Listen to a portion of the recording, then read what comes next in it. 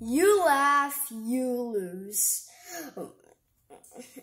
Extremely hard edition. If you don't laugh at this, you don't have a soul. Good luck.